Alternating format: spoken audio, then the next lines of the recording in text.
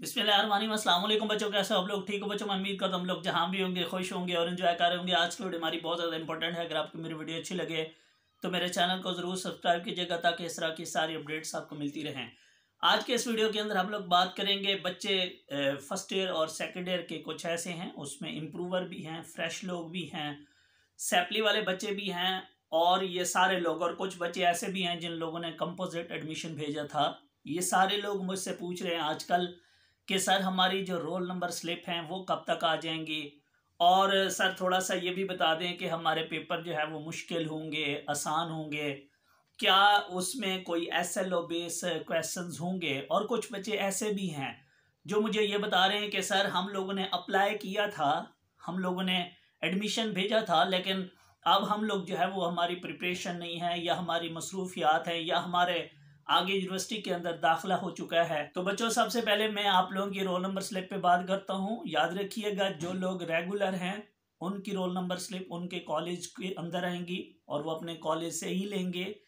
जबकि बाकी जितने भी लोग होंगे, उनमें कोई इम्प्रूवर है, कोई कंपोजिट का दाखला किसी ने भेजा हुआ है, कोई सेपली का बच्चा है या किसी ने प्राइवेट दाखला भेजा था, ये सारे लोग, इन लोगों ने जो एड्रेस वहाँ लिखा था, उस एड्रेस के ऊपर आप लोगों की जो रोल नंबर स्लिप है बच्चों, आ जाएगी। याद रखिएगा, अगर नहीं आती तो आपको घबराने की ज़रूरत नहीं है। आप अपने बोर्ड की वेबसाइट पे जाके आप वहाँ से भी अपनी वो रोल नंबर स्लिप जो है वो डाउनलोड कर सकते हो। बच्चे, यहाँ फिर कुछ कंफ्यूज होते हैं कि सर वो अटेस्ट नहीं होती या कोई कलर्ड कॉपी नहीं होती। तो सर, इसका कोई इशू तो नहीं है? बेटा, इसका बिल्कुल कोई इशू नहीं है।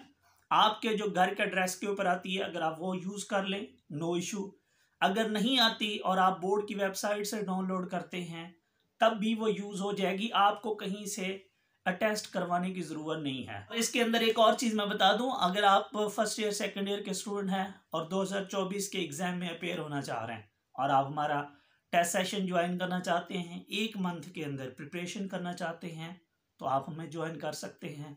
अगर आपको तमाम सब्जेक्ट्स के गेस्ट चाहिए solve hand written easy wording के अंदर M C Qs short long जिसमें से आपका पेपर मैक्सिमम इनशाला थोड़े से टाइम की प्रिपरेशन से मैक्सिमम अटैम्प्ट हो जाएगा। अगर आप वो लेना चाहते हैं तो वो भी बेटा आप ले सकते हैं। एग्ज़ाम कैसे होंगे, क्या मुश्किल होंगे, मैं इसके ऊपर लास्ट टाइम वीडियो बना चुका हूँ। मैं बोर्ड से कंफर्म कर चुका हूँ कि आप लोगों के जो पेपर है बच्चों, वो बिल्कुल एज इट पहले जैसा होगा।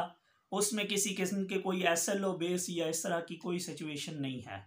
इसके बाद कुछ बच्चे ऐसे भी हैं जिन लोगों ने अपना दाखला भेजा था पेपर नहीं देना चाहते। क्या उनको रिज़ल्ट कैंसिल करवाना पड़ेगा? क्या उनको एडमिशन कैंसिल करवाना पड़ेगा? क्या इसके ऊपर है? बच्चों, याद रखिएगा, अगर आप इम्प्रूवर हैं और आप लोगों ने एडमिशन भेजा हुआ है और पेपर नहीं देना चाहते नो इशू आप एबसेंट हो जाएँ, आपको किसी किस्म का कोई एडमिशन कैंसिल करवाने की ज़रूरत नहीं है, ना कोई रिज़ल्ट कैंसिल करवाने की ज़रूरत है। जो रिज़ल्ट आपके पास ऑलरेडी मौजूद है वो रहेगा, वो कहीं नहीं जाएगा। इसके अंदर कुछ बच्चे ऐसे भी हैं, जिन लोगों ने सपोज़ करें तीन या चार, पाँच सब्जेक्ट्स का एडमिशन भेजा हुआ है, लेकिन अब वो एक, दो सब्जेक्ट में उनकी प्रिपरेशन नहीं है, वो नहीं देना चाहते। तो वो बच्चे मुझे कह रहे थे कि, सर, हम उनमें एबसेंट हो जाएँ तो क्या जो बाकी सब्जेक्ट्स के हम पेपर देंगे, क्या उसमें हमारे मार्क्स लगेंगे? बच्चों, याद रखिएगा, नॉर्मली ऐसा नहीं होता।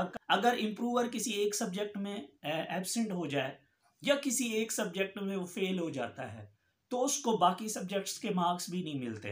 तो इसका एक बेस्ट सोल्यूशन ये है, बहुत सारे बच्चे बोर्ड से ये बात कंफर्म भी कर सकते हैं और कुछ बोर्ड वाले इवन के कहते हैं कि आप चूँकि इम्प्रूवर हो, आप एक सब्जेक्ट में एबसेंट हो गए हो तो जिनमें आप एबसेंट हो गए हो, हम उसमें आपके पुराने नंबर लगा देंगे। बट मोस्टली बोर्ड वाले ऐसे नहीं करते। इसलिए या तो आपको अपने बोर्ड से कंफर्म कर लेना चाहिए, उनसे कोई रिटर्न आप लिखवा लें या फिर दूसरी चीज़ ये होती है कि जब आपकी रोल नंबर स्लिप बच्चों आए तो आपने वो रोल नंबर स्लिप बोर्ड ले जानी है। क्योंकि बहुत सारे बच्चे ऐसे होते हैं नॉर्मली, जिनकी रोल नंबर स्लिप में कोई मिस्टेक होती है। मीन सम टाइम उनके सब्जेक्ट कम लिखे होते हैं सम टाइम उनके सब्जेक्ट ज़्यादा आए होते हैं तो वो बोर्ड जाके एप्लीकेशन दे के अपने वो सब्जेक्ट चेंज करवा लेते हैं। तो आप में से अगर कोई बच्चा कोई सब्जेक्ट नहीं देना चाह रहा या कोई सब्जेक्ट और ऐड करवाना चाह रहा है तो वो बोर्ड जाएगा जब उनकी रोल नंबर स्लिप आएगी। जैसे ही आए, वो फ़ौरन अपने बोर्ड ले जाएगा और वहाँ एप्लीकेशन लिखेगा कि, सर, ये जो सब्जेक्ट इसमें आए हुए हैं, ये मैं नहीं करना चाह रहा। मैं सिर्फ़ ये दो सब्जेक्ट करना चाह रहा हूँ या ये तीन करना चाह रहा हूँ।